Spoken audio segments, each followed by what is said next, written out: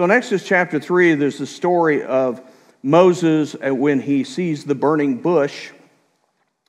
And notice what it says. He says, Now Moses was keeping the flock of his father in law, Jethro, the priest of Midian, and he led his flock to the west side of the wilderness and came to Horeb, the mountain of God. And the angel of the Lord appeared to him in a flame of fire out of the midst of a bush. He looked, and behold, the bush was burning, yet it was not consumed.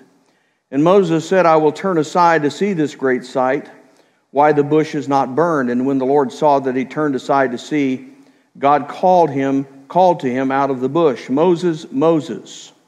How many of you be kind of, wouldn't that be fascinating? God said, Kim, Kim, you know, I'm like, oh boy. Uh, and uh, that'd be interesting to hear the voice of the Lord. And he said, Here I am. Then he said, Do not come near, take your sandals off your feet, for the place in which you're standing is holy ground. And he said, I am the God of your father, the God of Abraham, the God of Isaac, and the God of Jacob. And Moses hid his face, for he was afraid to look at God, because scripture teaches us if you looked at the Lord, you would die. So he didn't want to look at him. So in this story, I, I find something fascinating here is uh, we're, we're going to talk tonight about God is with us.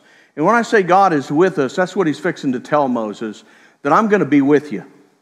He sends him on a really difficult mission that none of us could dream of ever getting a mission like this. And then he tells him, I'm going to be with you. I'm going to, it doesn't mean I'm just going to be there. We all know God is everywhere all the time at the same time. And he's not saying that I'm just going to be there. What he's telling God, uh, God is telling him is that we're not always, first of all, aware of the presence of God. He is everywhere all the time at the same time, but we're not always aware that He's actually there. We don't pay enough attention to it. And he, he was, certainly wasn't. And he saw this bush and it was burning. And I want you to imagine when he saw this burning bush, if he would have just, you know, it probably wasn't the only bush that ever caught fire. And he looks at the bush and you would just go, okay, well, and you look away. And, but he probably looked back, and what would you expect if he looked back a little bit? Bush would be burned. But it wasn't. That would make me a little curious.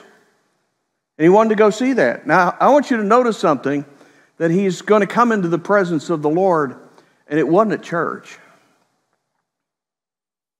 You know, there's some people think the Lord only shows up at church. You know, you hear people Boy, wasn't the Lord there this morning? Did you feel the presence of God in the house? You know, this wasn't in church, this was while he was at work. He was at work, watching sheep. You know, and that tells us something that God is always around us, no matter whether we're at work or, or wherever we're at. He's there. And he goes and he meets the Lord, and of course, the Lord's going to give him a real big job to go deliver the children of Israel out of Egypt. And I want you to look down at verse number 10. He says, Come, I will send you to Pharaoh that you may bring my people, the children of Israel, out of Egypt.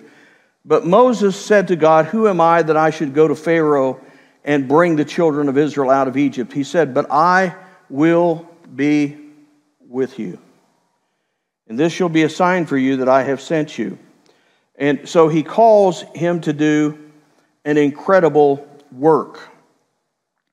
And so, what it means, this is what I want you to understand. When he talks about his presence, I'm going to be with you, it doesn't mean I'm just going to be there.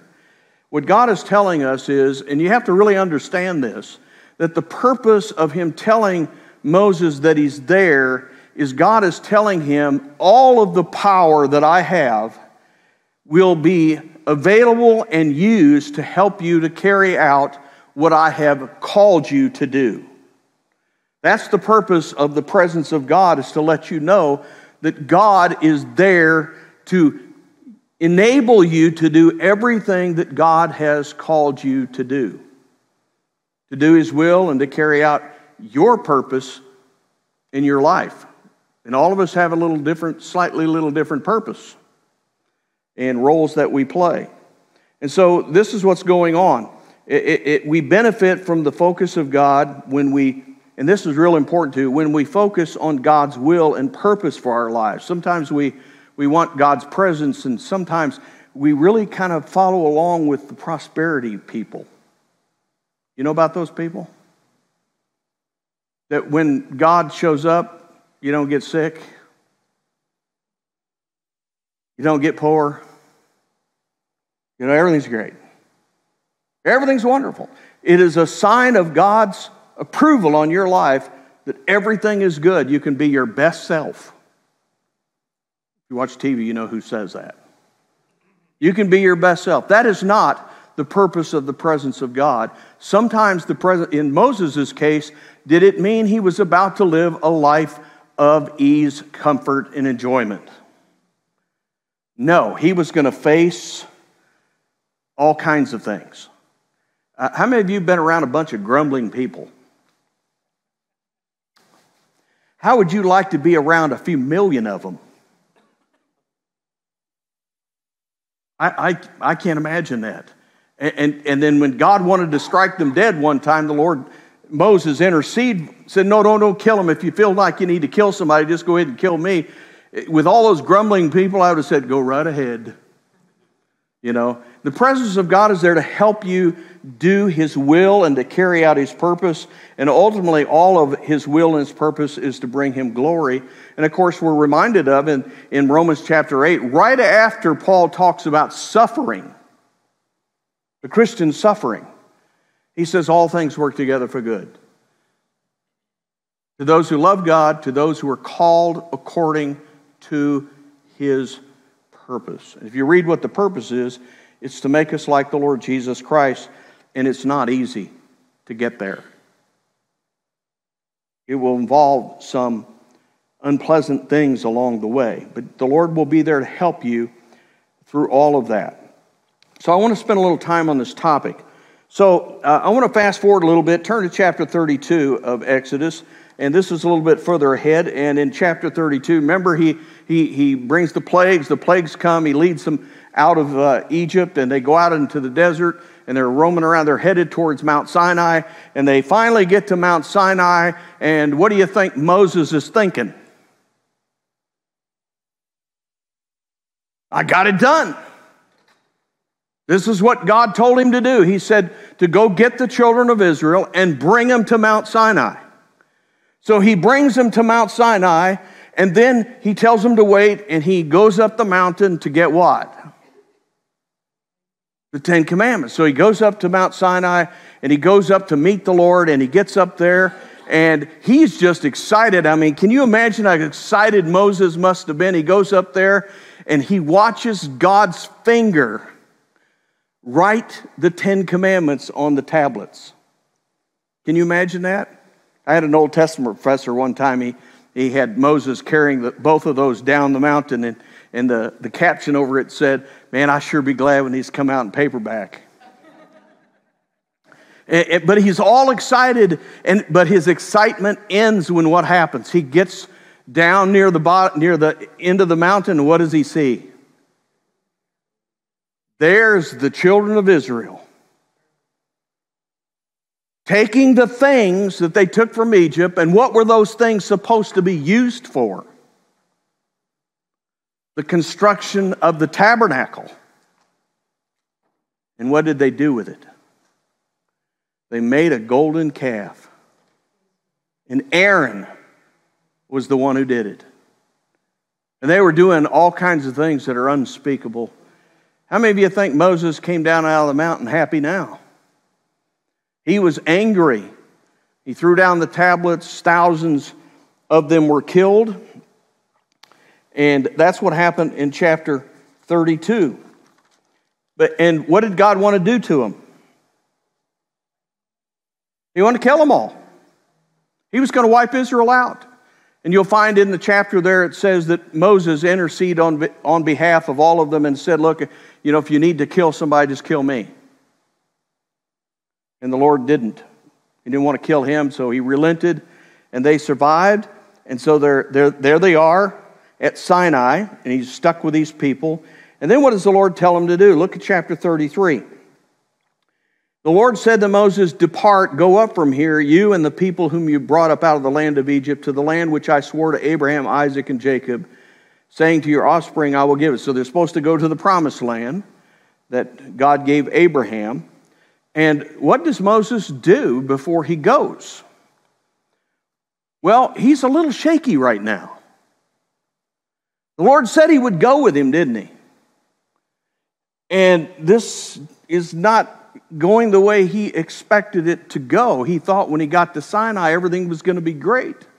And it didn't turn out to be great. And so, if he's thinking we went all the way from Egypt to here to this catastrophe, and God tells him to go somewhere else, and he's probably thinking,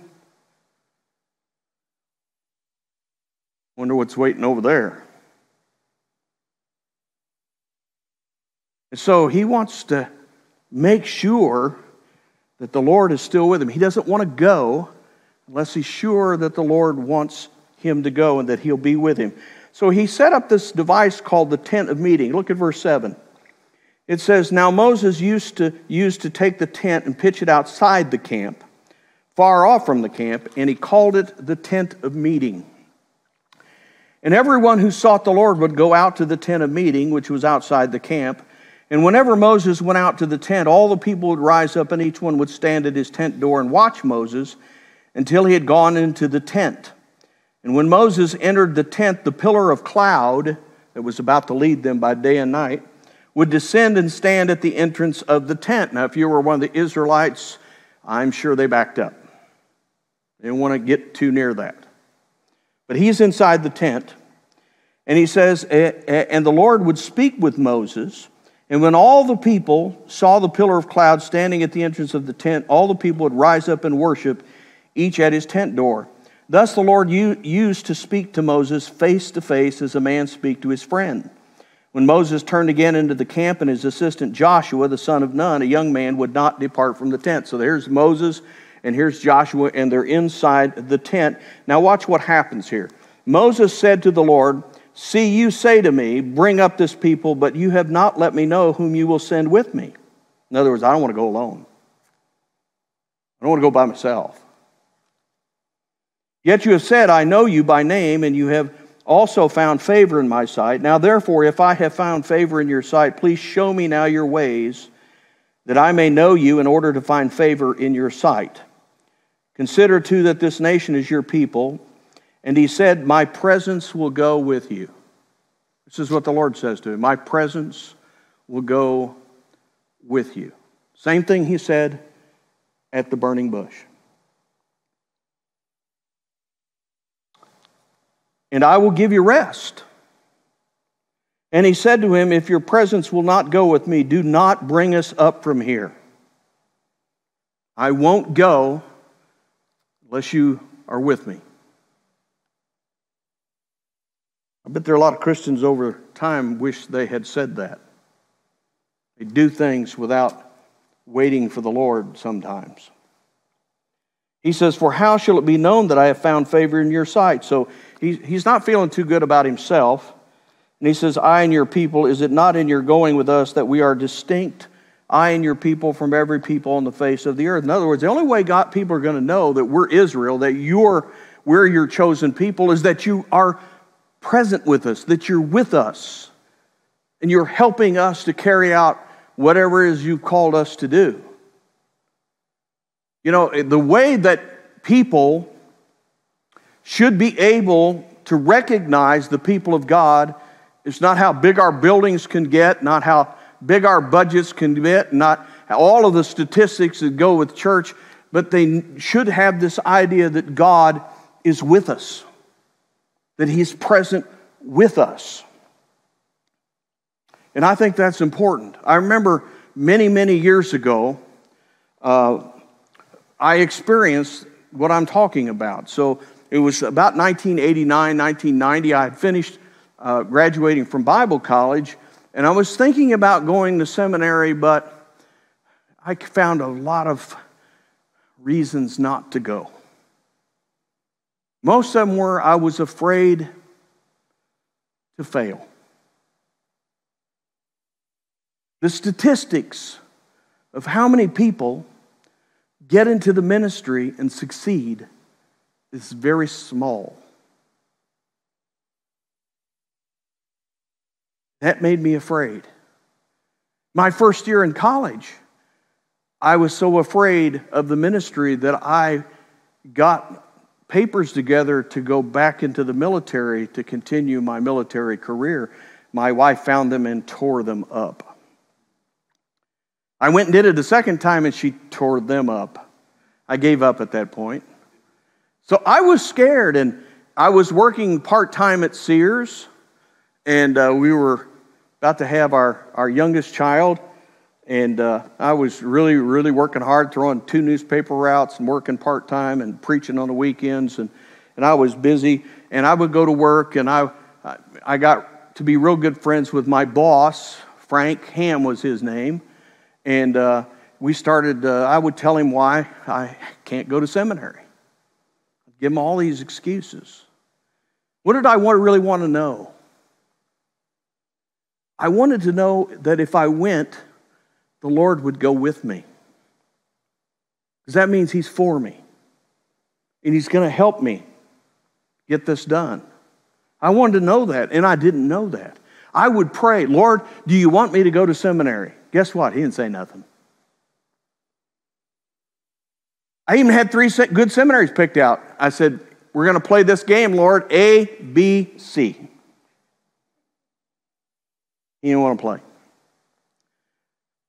And so I just complained and I complained. And one day, Frank, who's not a Christian at all, looked at me and he said, Kim, just go. And I said, Why do you say that, Frank? I've watched you for two years. Everything works out for you. And then I realized when he said that, this man who wasn't even a Christian recognized that God was present in my life. And I went as a result of that. And I think that's a great cause of why I made it for 35 years. And so he wants to know, are you going to go with me, Lord? Well, uh, he, he wants to he wants to just kind of make sure. So, guess what he asked God to do? Not something little. He said, um, um, God gave him another mission. You got to get the second, the second edition of the Ten Commandments. So he said, cut two, two tablets and lug them up the top of the mountain. And when you get up there, you know, I'll use my hand and write, write them out again. But he says, oh, by the way, when I get up there, could I see your glory? That way I'll, I'll, really know that I have found favor in your sight. He wanted to know if, if he had found grace in the eyes of the Lord. Well, God sort of partially fulfilled what he wanted, but he said, No, you can't actually look at me because if you look at me, what will happen? You die. But he said, I'll tell you what I'm going to do. I'm going to let you see my glory. So he put him in what we call the cleft of the rock and the glory of the Lord passes by, and he got to see the, the hindsight, the backside. I don't know what it was he saw, but it must have been really something because when he came down from the mountain, guess what his face looked like? Nobody could look at him. And from then on, every time he went into the tent of meeting and he came out, his face shone, and it was so bright he started to put a veil on it so people could look at him. And that brightness that was on his face testified to what? That the Lord was with him. His presence was always there with Moses. I think that's something important when a church calls a person to be an elder or calls a person to be uh, a pastor in a church is a crucial question is is the Lord with this person? Not just can they preach or can they do certain things, but is the Lord with them? So he, he, he, he goes up to Sinai, he cuts the tablets, he brings them up, he experiences the glory of the Lord. And look at verses 8 and 9 of chapter 34. And Moses quickly bowed his head toward the earth and he worshiped. And he said, If now I have found favor in your sight, O Lord, please let the Lord go in the midst of us. For it is a stiff necked people, and pardon our iniquity and our sin, and take us for your inheritance. So go with us. And he did go with them. Turn with me real quick to Joshua chapter 1.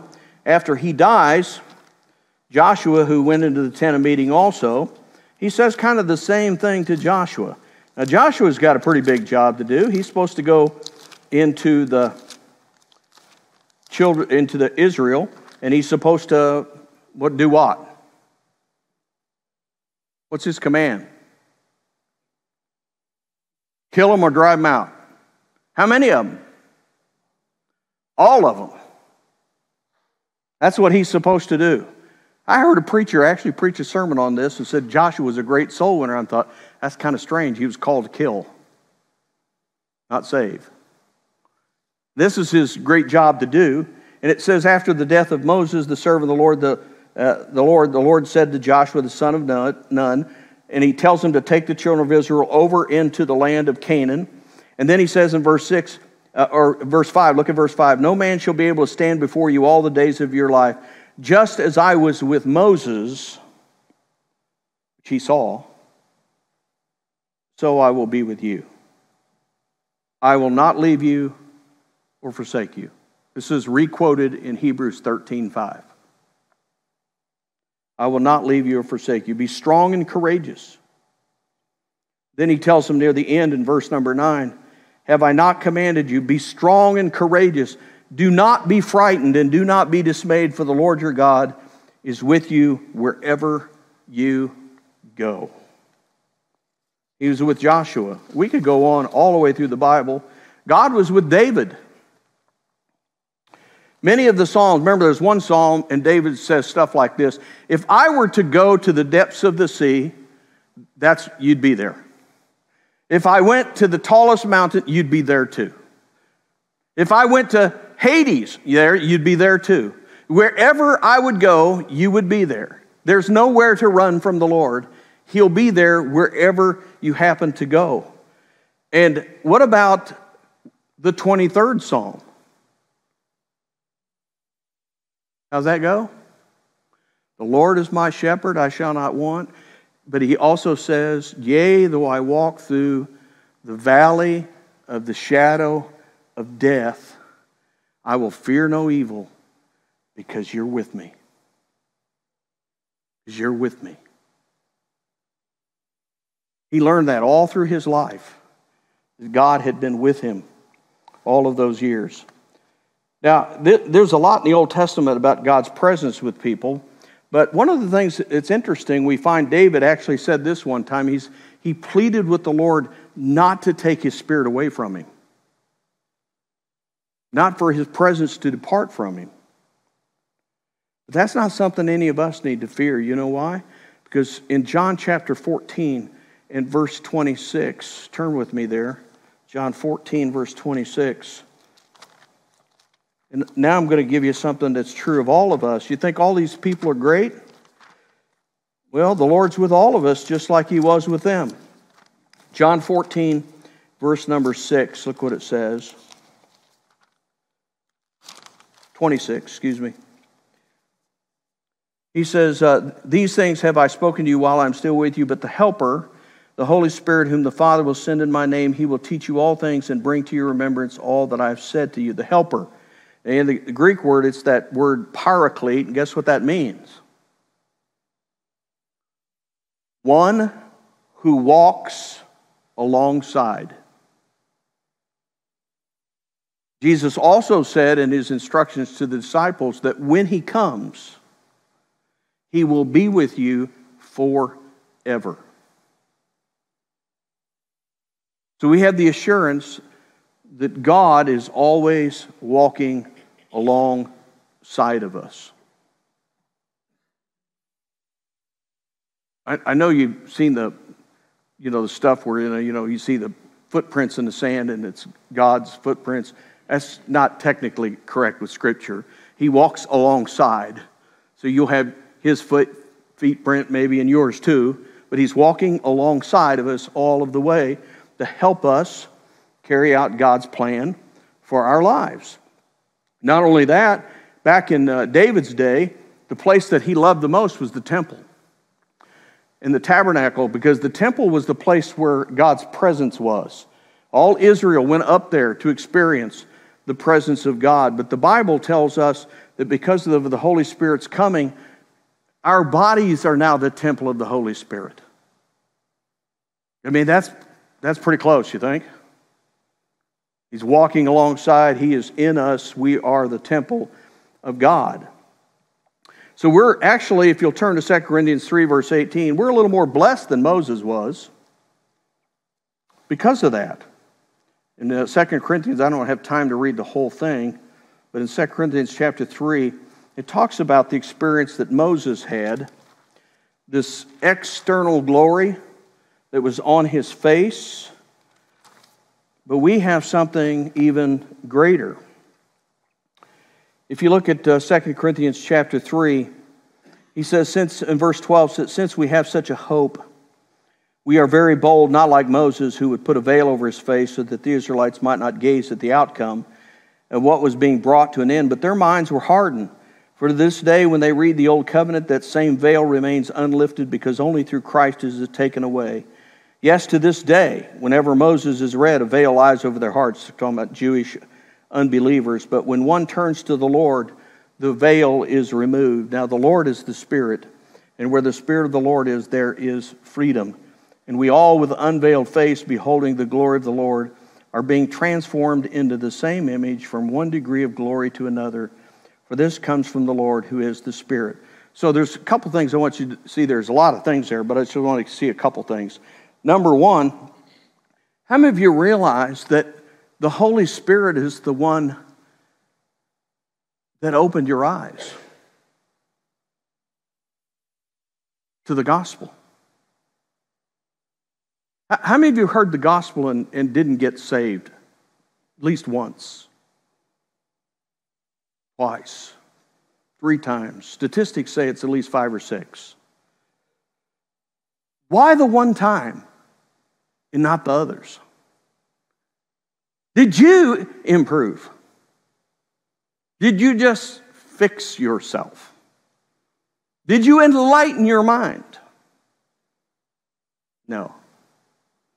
The Second Corinthians tells us later on in verse 14 that the natural man cannot receive the things of the Spirit of God. He can't welcome them because they're spiritually discerned. The Holy Spirit comes by and visits us, and when He comes by, He opens our hearts, He opens our minds, He illuminates us, and we can see the gospel. And it's not dark, it's not veiled, it's not hidden. 2 Corinthians 4 4 talks about that the gospel is, is veiled, it's hidden to those who are lost. And Satan wants to keep it that way. And it takes someone more powerful than the devil to uncover and, re, and, and get rid of that darkness, and that is the Holy Spirit. We should be very thankful for the work of the Spirit. Not only does He do that, look what else it says beholding the glory of the Lord. We don't have to go into the tent of meeting, the glory of the Lord is inside of us. And we can read the Word of God and we can see the glory of the Lord, and it transforms us into the same image. Now, I learned this when I first got saved. So, when I got saved, I, there was no church involved. Nobody ever visited my house or my trailer. Nobody. Nobody came by to preach the gospel. I got saved watching Billy Graham on TV set. And the moment I got saved, I became a voracious reader of Scripture. I mean, my mom would come in like, You going to bed? Why? What? It's two o'clock in the morning. You got to go to school. I just wanted to read the Bible. I read the Bible. Guess what I noticed as I read the Bible? I wasn't even trying to do this. I was changing. I used to be known back in those days a man as a man, a boy with a, a very, very limited vocabulary. Catch my drift? They're not words you can repeat in church. I got a few technical fouls in basketball. Because if you notice, my voice is kind of loud, so my whispers get heard by the officials. And uh, I would get teed up, and then the coach would put me on the bench so I didn't get thrown out of the game. And uh, let me calm down, then I go back in. But I, I, did. And you know what? It's almost helped me to get saved because I decided one day that this was not good. So I decided I'm going to stop cussing. I got worse. The more I tried to not cuss, the more I cussed. I cussed because I couldn't stop cussing. And it actually helped when I heard the gospel to get under conviction. The Holy Spirit opened my mind. I got saved. And I started reading the scriptures, and the Holy Spirit began to change me.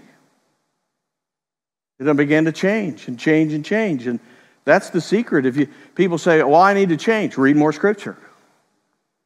Spend more time with God. You know, don't fall for this thing. You can spend 10 minutes with God and everything will be okay. Right? I mean, can you imagine if the, your favorite television show came on, they had 50 minutes of commercials and 10 minutes of show? You'd be all right with that? You know, we can watch a show for an hour and it doesn't bother us, and people act like, oh my gosh, I got to read the Bible for a whole hour. Are you kidding?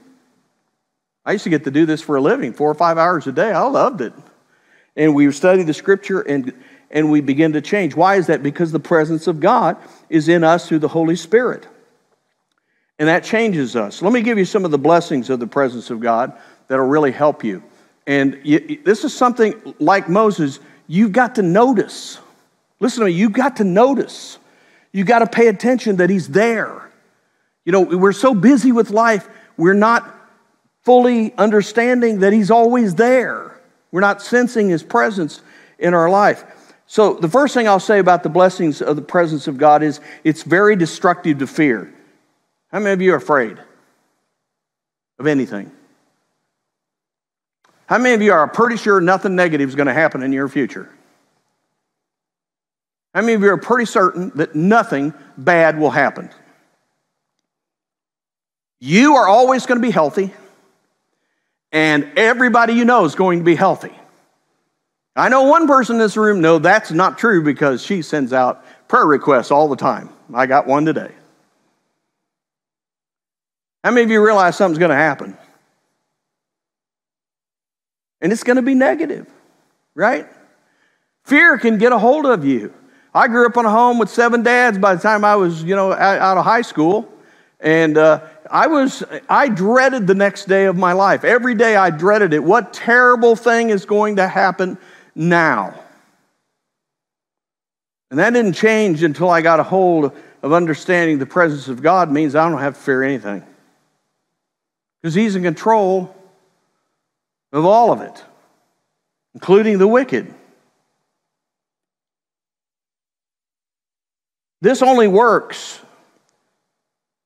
when our focus on life is the hope not of prosperity theology, of theology, but the, that the presence of God is focused on the will of God and the purpose of God. So if I have to go through this, and I've gone through a lot of terrible things at church as a pastor, you go through this stuff, and when you go through that stuff, you have to learn that God has a reason for it. There's a purpose for it. It's for my good and His glory. And when I'm focused on His will and His glory, however, when I'm fearful, guess who I'm mostly focused on? Me. We tend to talk about it to other people. But fear will fall when we realize that God is present with us. Remember the disciples? They were scared to death they were going to drown out in the sea. Guess what they forgot? They forgot who was asleep underneath. If they'd have known that, he's the same guy that raised the dead, healed the blind, made everybody who was sick healthy again. He did miracle after miracle after miracle. They would never would have been afraid as a result of that. He's the same guy who walked on the water. Man, I think I could trust somebody who can walk on the water. Amen? I really could. Everybody picks on Peter. I don't know why. He was the only one I noticed got out of the boat. And he would have been okay if he'd just kept his eyes on the Lord, but he had to look around, and fear got a hold of him. Our holiness also depends upon the presence of God. Now, watch, listen to this. In Isaiah chapter 6, this is the holiest man in the entire nation. There's nobody holier in the whole nation except Isaiah. But he has a vision and he comes into the presence of the Lord. And guess what he suddenly feels? Very, very sinful. He suddenly realized, and in fact, he says, I got the dirtiest mouth in the nation. I got a dirty mouth. Because he experienced the fear of the Lord. People don't want that anymore. They, they love sermons on the love of God, but none about the fear of God. The world's going to experience that when he comes back the second time. First time he came to save, he's not coming back to save the second time. He's going to be mad. And it, it promotes a, a fear of the Lord, and as a result, when we have the fear of the Lord, we sin less and we obey more. Now, I want you to imagine this um, on a practical level. So, today, I think this item is, can be one of the most helpful things on the face of the earth, but it can be one of the most dangerous things on the face of the earth. Anybody know which one I'm talk, what I'm talking about? People sit behind it for a long time. Computers.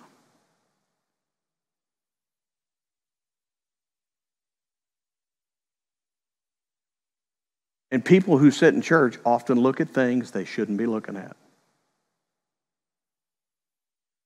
Every day for hours.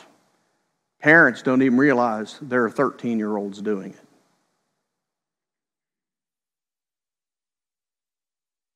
How many of you would uh, be looking at something or saying something or doing something if Pastor Matt happened to be standing there watching? You wouldn't do it, would you? If there's somebody greater than Pastor Matt, could you imagine if the Lord was standing there watching you on your computer or your cell phone or in your conversations with other people?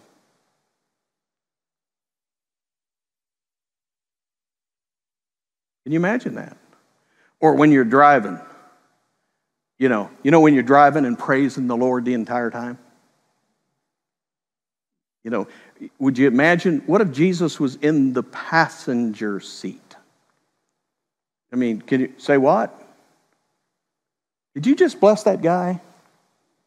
You know, that stuff goes on all the time. It's amazing. That's how holiness works is when we have an idea that the Lord is actually really there, and He actually is. We just don't see Him with our eyes. A third thing about the presence of God is you experience a great understanding of God's love for you that you may not get anywhere else. And it's because of this. It also says that when the Holy Spirit comes, it says He will be with you how long? Forever. That means He will be forever with you when you are at your worst. You know, when you're at home with your spouse and y'all are praising the Lord together, being facetious here. Can you imagine the Lord's watching that? Can, if you would imagine the Lord was watching what you do at your house with your family, you might behave a little differently. But no matter when you're at your worst, He still loves you. He's not leaving. He's not leaving. This means as much to me as anything because almost everybody that I've ever experienced in my life, most people, always leave me. All the stepdads leave. My mother left me several times. As a pastor, people tell me they cannot live without me, and then they have to leave. Sometimes they don't even say goodbye. Or they write me a Dear John letter, you know, Dear Pastor letter, and tell me why they can't come anymore. And stuff like that. Now it's, it, they don't give you Dear John letters anymore. It's a Dear John text. You know, enjoyed all the great sermons. Bye. And that's what they do. And people just leave you over and over and over and over again. You experience how much God really loves you. And then you can also experience joy. Joy that is not dependent on circumstances. Psalm 16:11 says, "At my right hand are pleasures forevermore." The fruit of the spirit is what? Love, joy, the spirit. If we walk in the spirit, We have a sense of the presence of God. Joy comes, and joy is something that is not dependent on circumstances. How many have ever been joyful when the circumstances were awful? I used to have this friend when I was in the Army. I didn't like him because he was really good with this trait. No matter how bad it was, no matter what we went through, we'd go out in the field, be 105 degrees at Fort Hood. Everybody would, there was nobody with any race out there because we were all caked with the same stuff. It was just miserable. Chiggers, flies. I mean, it was just miserable out there. And he'd just walk around with his little New Testament. Well, bless the Lord, praise the Lord, glory to God. You know, I'm like, shut up. And he did that no matter what.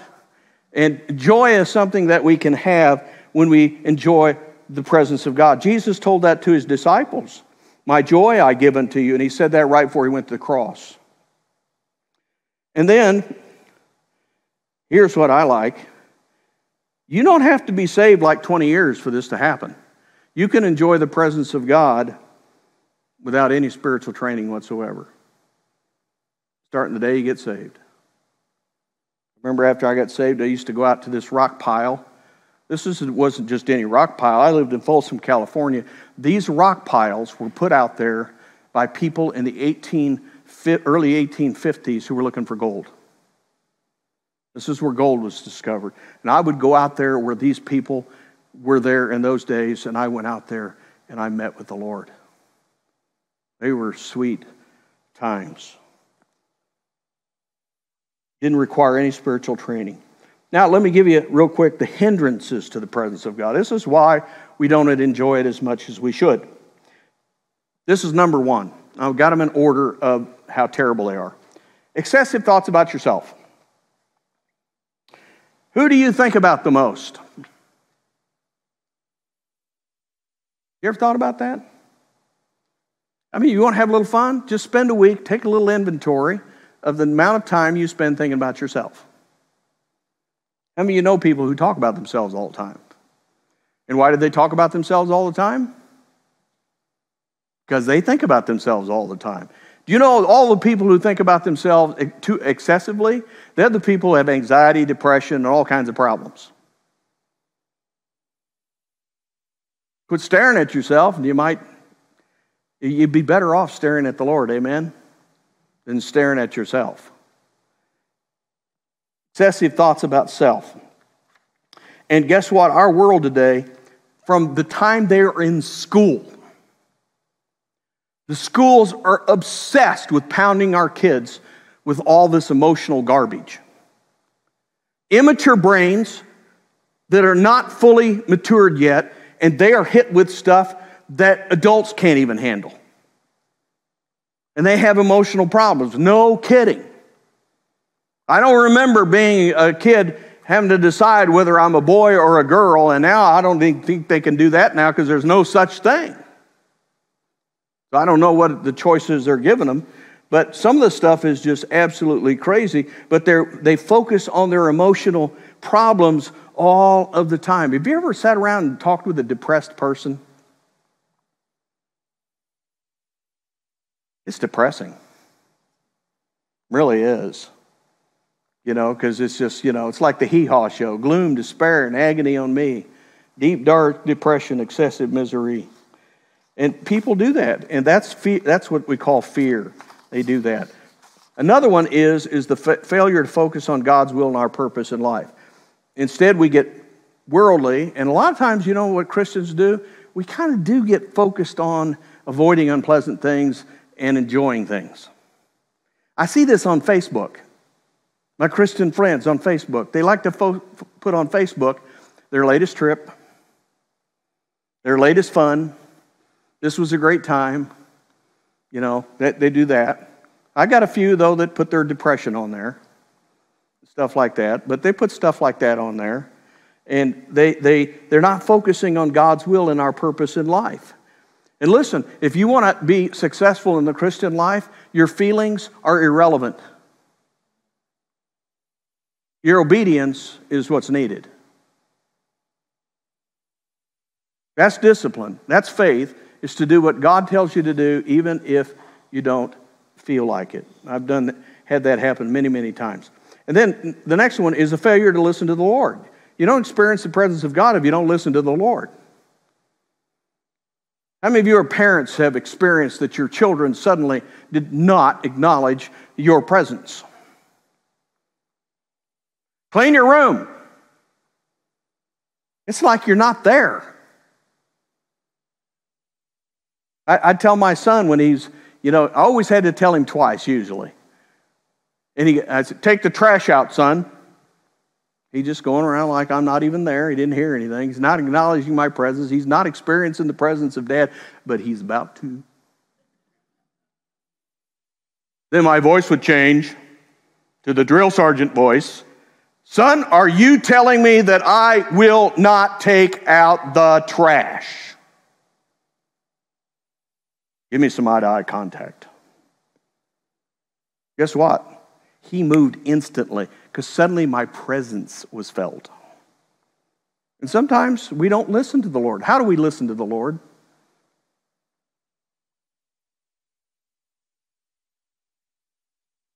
Read the scriptures. Come to church and hear the word preached. Pray. I mean, realize that God works in your life through prayer. Prayer is not about you changing God's mind. Prayer is about God changing your mind. Am I right, Ron? It changes your mind so that you pray things that are in step with Him. That's what happens. And so we need to listen to the Lord. Listen to him. D.L. Moody said, a lost person said, Well, I've never heard the Lord. And he dropped a quarter on the sidewalk. The guy stopped instantly and turned to look and says, Depends on what you're listening for. He was listening for money. And then number the last one I have here is excessive busyness. Some people are just too busy to notice the Lord's presence. Just too busy. You know, I know people in church, they signed up for 10 things. You're too busy. I always wonder, why do you want to do 10 things bad? Why don't you do two things well? You know, but they do too much. They're always trying to do too much. There's, they're busy, busy, busy, busy. Workaholics. You just slow down a little bit and notice the Lord. How many of you have ever seen this? There are people, I noticed, I went to the Grand Canyon one time. I always my wife wanted to go there. I didn't want to go there. I said, Oh, it's a stupid hole in the ground. And she said, Oh, I, we got to go. So, our 25th wedding anniversary, I flew out there. And we, you know, we, if you ever drive up to the Grand Canyon, you don't realize it's just going to suddenly be on you. I mean, you get to the, uh, the stop sign, and there it is. And I, I stopped, and then they are honking, like, get out of the way, it's stupid. And I pulled in the parking lot, I went over there, and I go, wow, that's a hole. I mean, there are no holes like that. But you know, there's people that live all around there and never notice the Grand Canyon. When I lived near Chicago, people come from all over the world to see Chicago. I do not know why. It's a great place to be shot. But they come to Chicago all the time and they go to Chicago, and I live right there, and I never once went up to Sears Tower. I don't like high places anyway. This is, as high, this is about as high as I ever would want to go. Excessive busyness, just slow down a little bit. So, as I close this evening, fear dominated my life, I think, in the first 30 years. I've told you that. But we need to practice the presence of God, and I think that keeps us going. There are times in your life, I think, where you do feel the Lord very close to you, but He always is. And how many of you want the Lord to be close to you? Is that everybody? You want me to tell you how to do it? James tells us exactly how to do it. Draw near to me, and I will draw near to you. The more you pursue the Lord, the more He will come near you, and the more you will sense His presence in your life. Moses first experienced that while he was at work you can experience God's presence everywhere. How many of you used to sing with hymn books? You remember that? I remember hymn books. Remember those? Uh, now, don't get me on a thing. I had somebody come and ask, don't you wish we had the hymn book? No, I don't see as well as I used to, so the screen is fine for me. I don't really care one way. Or the other. We don't sing Southern gospel music, so I, I never get my way around here, so I'm just good with whatever. But there are some very well known authors in the hymn books, wrote a lot of songs. Name some of them. Can you think of any? I'm thinking of a woman. Fanny Crosby. Did you know many of the hymns that Fanny Crosby were written while she was doing housework? While she was doing housework, she sensed the presence of God while she did her housework. And we've been singing her songs for an awful long time. Isn't that something? And so we need to, I think it's important that we practice the presence of the Lord. This is not a popular sermon, it's not an easy sermon, but it is something you need to be aware of all of the time. I, I want to close with this thought. So, I, I, all the years I was a pastor, we have so much work to do. And uh, everybody has something for us to do. But every day I started the same way, whether I was at home or whether it was the office. I started the same way. You know why? It was to go to the office or to my study in my home, and I spent time with the Lord. Whatever time it took. On Thursdays, unless you were dying, you better not be lying to me when you did, when you tell me. I was not to be disturbed. I spent the day with the Lord, making sure I was fully ready to preach on Sunday. I wanted to be with the Lord. It was important to me to have the presence of God in my work and in my life than it was the actual work I had to do. This was what was important to me. And whenever I would get to a place where it was starting to impede a little bit on my time with the Lord, I would tell the church, find someone else to do that other stuff. I would outsource it so that I could keep my time with the Lord. And now, one of the great things about my life is being retired is I have a lot of time to be with the Lord. You know, every email I get gets an instantaneous workover to pray for whoever that person is. But I'm praying for many of them. I don't even know who they are, but I pray for them. That's what we need to do, amen? What would our lives be like if we knew the Lord was with us and walking with us? It'd be a lot less absent of some stuff and a lot more of good stuff. And what would it do to our church? If the only person that walked with the Lord wasn't our staff, but it was us too. Wouldn't that be awesome if that was the case? That's what I want to bring to you tonight. So, God's faithful, God's holy, God loves, God is present in every moment of your life, in the good and the bad. And He's there for you to focus on bringing Him glory and doing His will. Amen? Let's close in prayer.